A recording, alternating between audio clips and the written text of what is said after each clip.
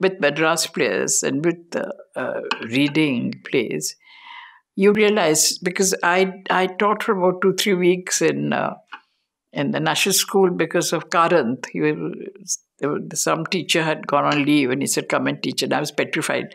But what one did with them, and later with our own uh, group, was you you you take a any passage and you say you do it sarcastically, you do it sadly, you do it happily, some such thing. And then then you realize, you know, the students realize uh, how just the tone, what difference it can make to the whole thing.